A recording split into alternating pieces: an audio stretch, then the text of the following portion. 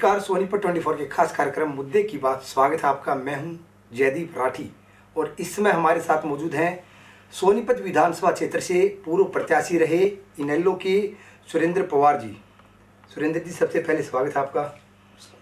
सबसे पहला सवाल, सुरेंद्र जी, आपसे यही, आप मूलतः बात करें बिजनेसमैन रहे हैं, काफ़ी लंबे समय तक समाज सेवी भी हैं तो राजनीति की तरफ़ जो रुख करना था, वो कहाँ से सोचा कि अब मुझे राजनीति में जाना चाहिए, वो कहाँ से? सन 2000 में सोनीपत से मैंने नगर पार्षद का चुनाव लड़ा था और मैं काफ़ी वोटों से जीता और उन दिनों में इनेलो की ही सरकार थी। उन चार पाँच साल में मैंने लोगों के बहुत ही काम करे, समाज सेवा का कार्य किया। तब से मेरे मन में ये रहा कि क्योंकि आम जन की बहुत से ऐसे कार्य हैं कि जो पॉलिटिक्स में रहकर ही इंसान उस कार्य को पूरा कराया जा सकता है। समाज सेवा के साथ साथ जो प्रशासनिक काम है, वो पॉलिटिकल ही कराए मतलब पॉलिटिक्स में रहकर ही कर सकता है। तो तब से ही मैं मेरे मन में था और मैं तब से शुरू से मैं इनेलो से जुड़ा हुआ हूँ। और 2014 में मुझे इंडियन नेशनल लोकदल का सोनीपत विधानसभा से टिकट मिला और मैंने चुनाव लड़ा। तो यही था कि उन्हीं दिनों से मतलब ये कहिए कि शुरू से ही मेरे मन में समाज सेवा का जज्बा रहा है। सुरेंद्र बिल्कुल चुनाव आपने लड़ा पिछला।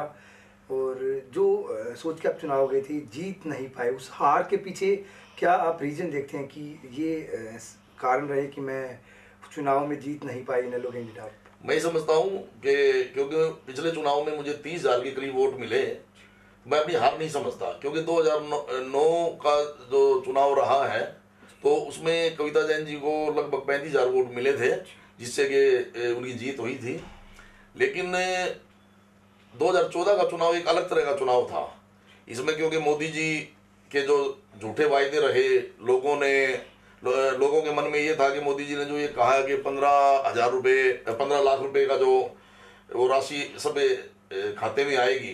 तो लोग उस बहकावे में आए और लोगों के मन में यही रहा कि हो सकता है मोदी जी ने जो कहा है वो करेंगे।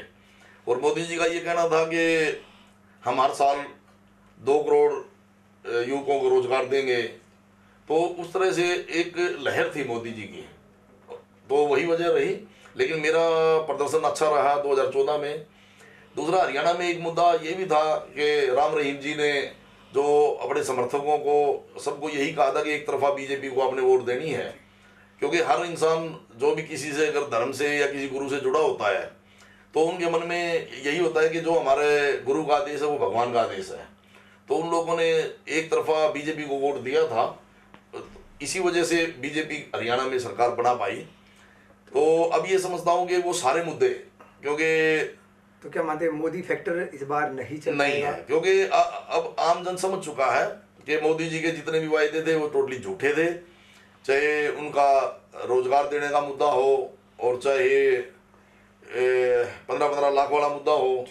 तो इस तरह से आज आम आदमी हर इंसान उनसे कट चुका है नाराज़गी है बीजेपी के प्रति।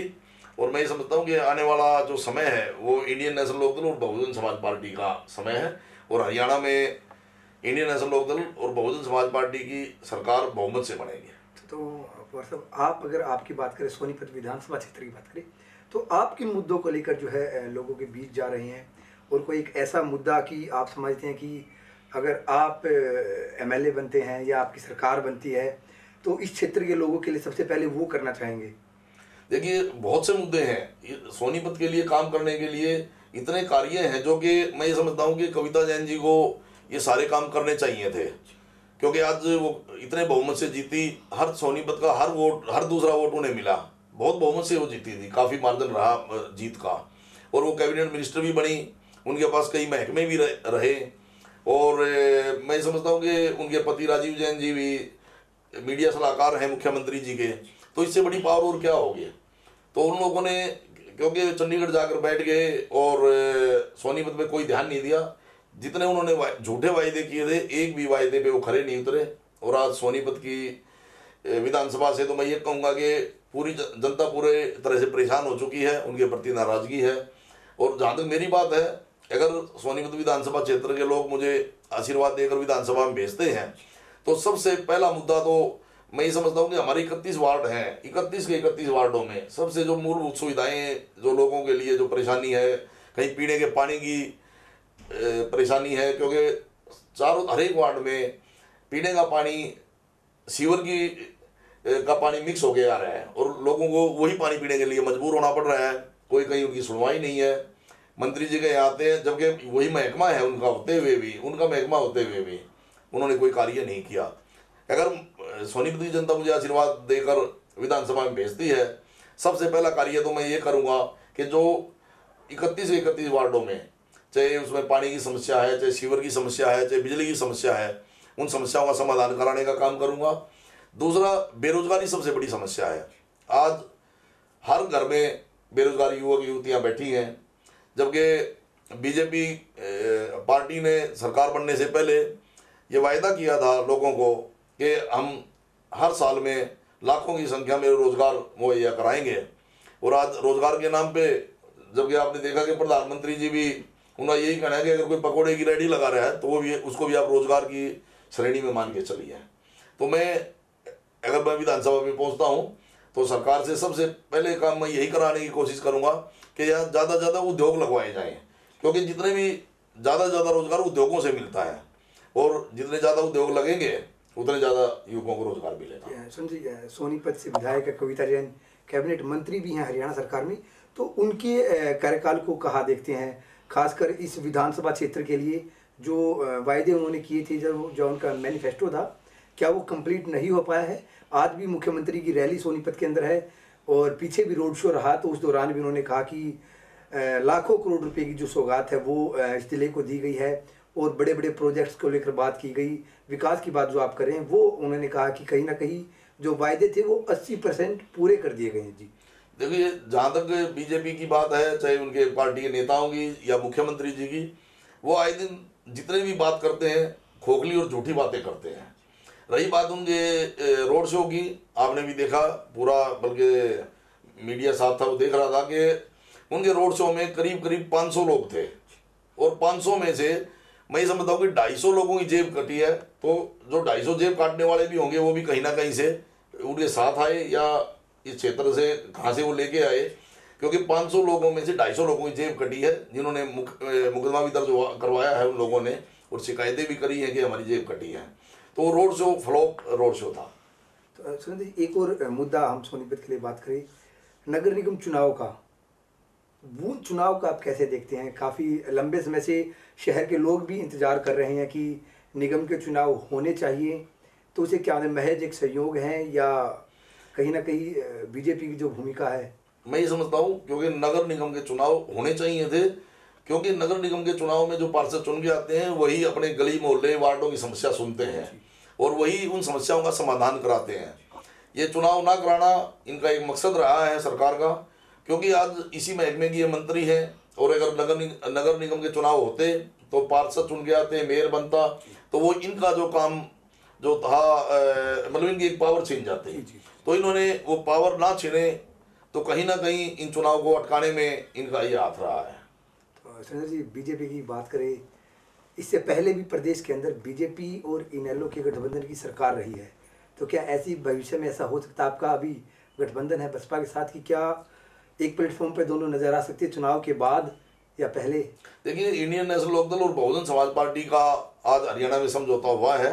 और मैं ये समझता हूँ कि ये समझौता बहुत ही कामयाब समझौता है और स्पष्ट बहुमत से हमारी सरकार बनेगी तो मुझे नहीं लगता कि कहीं बीजेपी के समर्थन की ज़रूरत पड़ेगी। बिल्कुल एक और बात हम करें सोनीपत विधानसभा से आज तक कोई कैंडिडेट इनेलो का हम कहे वो नहीं जीत पाया है।